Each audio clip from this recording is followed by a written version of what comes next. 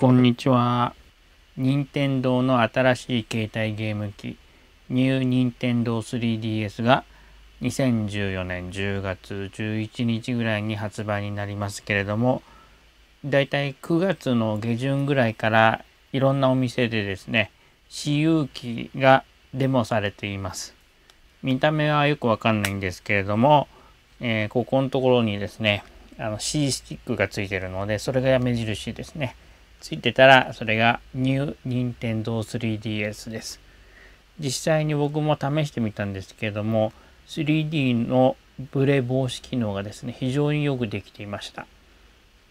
今までですね、僕はあの液晶メーカーの、えー、地差バリア方式、3DS で使ってる 3D 立体視の方式ですね。それのえー、ブレ防止機能っていうのはいろんな会社のを見てたんですけれども、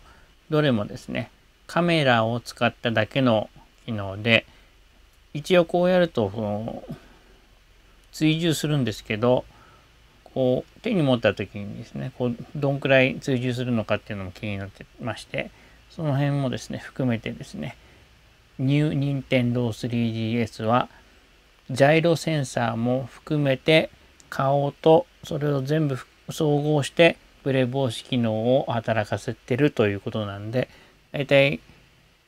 古い 3DS だとこれもうこれぐらいでもうすぐブレちゃいますよね。それがニュー任天堂 3DS だとないです。これぐらいのこれぐらいの速度のブレブレっていうかこう本体の揺らし方だと全くブレ加減はないです。その代わり、こん、こんくらいにしたりするとダメですね。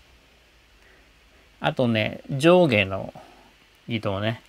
これもあんまり良くなかった。こういう感じのはあんまり良くなかったけど、大体これぐらいの動かし方だと全くブレが感じなくて、もう常に 3D 感がもうバッチリ見えるという感じで、あの、素晴らしい